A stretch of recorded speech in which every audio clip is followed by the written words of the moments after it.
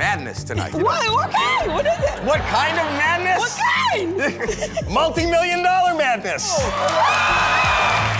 that is the multi-million dollar madness chamber. There's gonna be balls floating all over the room. Oh, yeah. When you see me go like this, try to grab one of the balls. Now, here's what it's all about. Each of the balls has a different number in it. Okay. From 2 to 13.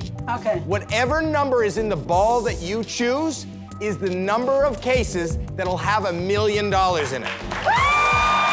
Drop the balls. Oh, my God. You're only allowed one. You're only allowed one. One. You can only have one. Okay. I got it. Are you finished? Is that the one you want?